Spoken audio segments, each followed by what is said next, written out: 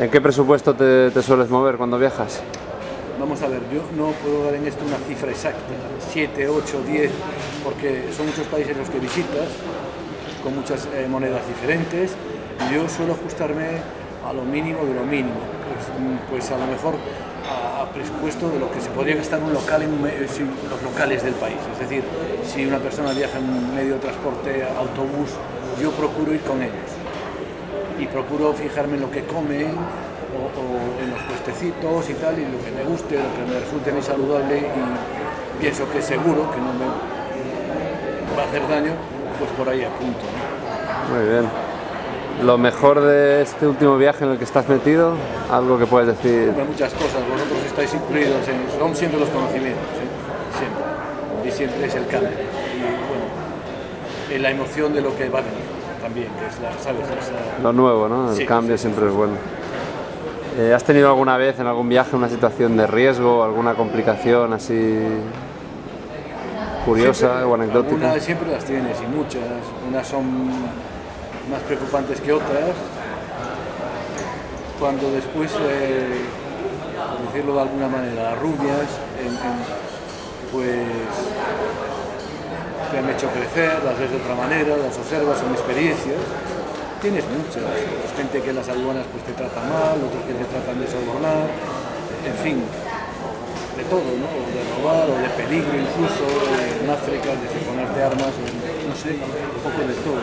Hay sitios que te ves desasistido, que tienes algo que afecta a la salud y, y no tienes realmente a dónde ir porque no hay una infraestructura san- sanitaria adecuada, en fin. Pero eso hace el viaje, en mi caso, eh, más eh, emocionante todavía. ¿Tienes algún país o alguna región que sea tu favorita como viajero? Siempre es el porvenir, el que va a venir, pero yo diría que eh, tengo una especial creencia con África, me gusta mucho. Y ahora Asia la estoy descubriendo, claro. Si a compararla, por ejemplo, hablamos de comparaciones, pero al compararla con, con África, pues me resulta hasta muy moderna. Quiero decirte, evolucionado sería la palabra pero me gusta, es diferente y me gusta también mucho. Favorito. Después está, es que no puedo hacer decir este, este, este. En Europa, ¿cuál? Soy español, España me entusiasma y viajar por allí es un placer. Cuando voy, es otro estilo, es tu país.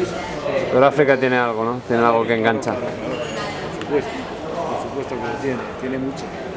¿Y un- algún rincón que sea tu favorito en el planeta?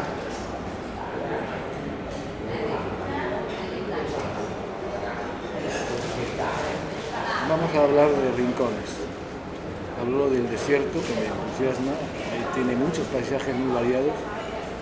Y otro rincón opuesto pues sería Estados Unidos, América del Norte, donde he pasado casi ocho años de mi vida. Nueva Inglaterra, sus paisajes su clima, cambio estacional tan marcado, me gusta mucho. ¿Alguna anécdota divertida que nos puedas contar de tus viajes? Bueno, cosas muchísimas. Ver, la primera vez que estamos en la entrevista y tiene que, tenemos que reducir. En cuestión de tiempo me viene una, pues vamos a ver. En- una que se me viene ahora. Hay muchas, pero vamos, hablemos de esta. Es en, en- la situamos en Cotonou, que se está en, en Ghana. Y me voy a comprar un coco porque tenía sed, que nos venden con la pajita. Y mm, hablan francés y siempre te preguntan el cambio, la petit monnaie, ¿no? Y siempre el mismo cuento, no tengo cambio, perdón, no tengo cambio. Me había dado una moneda, o sea, un billete grande, me devuelve el cambio y en lugar de devolver, perdón, en lugar de devolverme el cambio, me viene este hombre, el hombre que los vendía, con otro coco al cabo de, un minuto. Y digo, yo no quiero otro coco, si este es enorme, ya estoy, mírame el cambio. Y dice, no, perdón, la petit monnaie. Entonces yo vi que él tenía una mesita pequeña ahí en la acera y con un transistor mínimo. Fui y le pillé yo el transistor y me lo metí en el bolsillo. Pues hasta que no me des la petimone, ¿eh? el cambio, yo no te doy el transistor. Hubo un pequeño raff, una pequeña discusión y para que la sangre no llegase al río, pasaba por allí de casualidad alguien con uniforme, tipo militar o policía, no sé, y le llamé a que templara un poco las gaitas allí. Y así fue la cosa, De ahí me salió después una... Parece ser que unos eh, polacos que conocí más tarde observaron la situación y me oyeron discutir con él en francés, se rieron mucho. Ellos no hablaban francés, no es que mi francés sea muy bueno, pero me han elegido como guía después para que les eh, llevase a, a Niza, donde querían ir, y me salió un viaje pues gratis. Toyota que ellos habían alquilado, iban a visitar, iban a ver el eh, eclipse solar que tuvo lugar en el año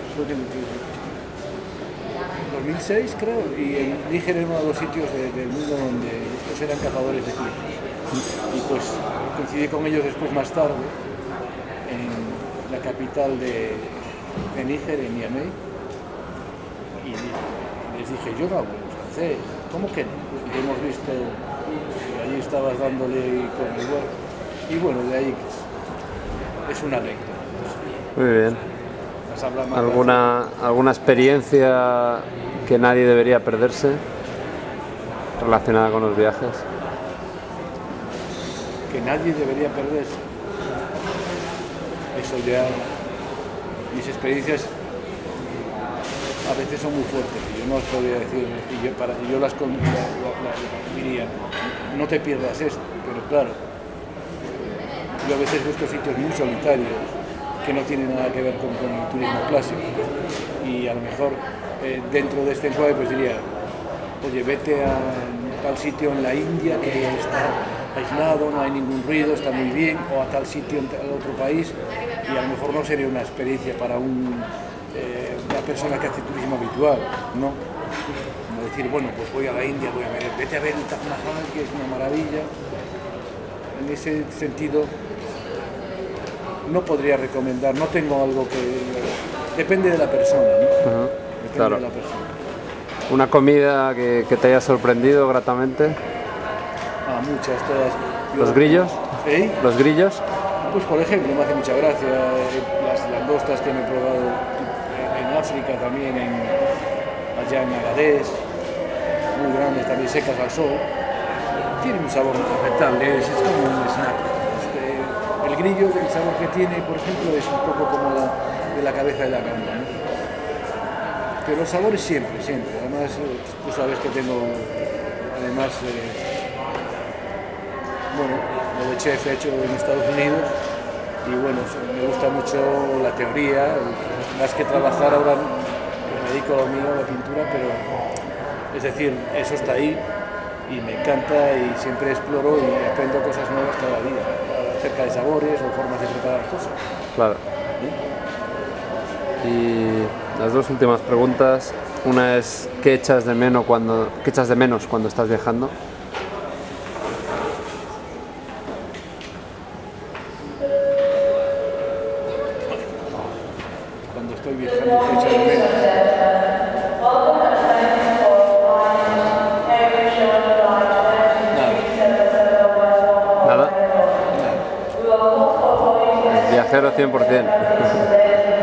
Y ya la última pregunta, ¿qué consejo le darías a los viajeros?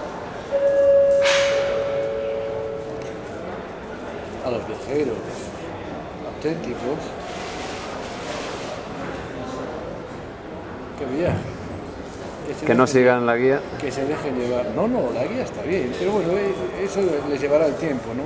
Y su experiencia propia les, les irá llevando. Que se dejen llevar, que no vayan muy forzados tengo que ir aquí porque nunca se sabe dónde vas a a lo mejor aquí, en un sitio donde no esperamos, vas a tener una experiencia maravillosa.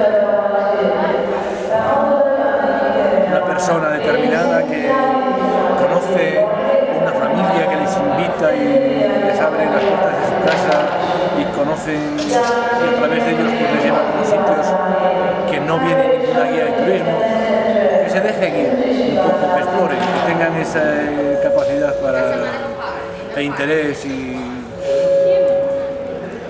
eso. Me parece un consejo fantástico. Gracias. Muchas gracias, Gregorio. Bueno, muchas de nada. ¿eh? Saludos a España. Venga, hasta luego.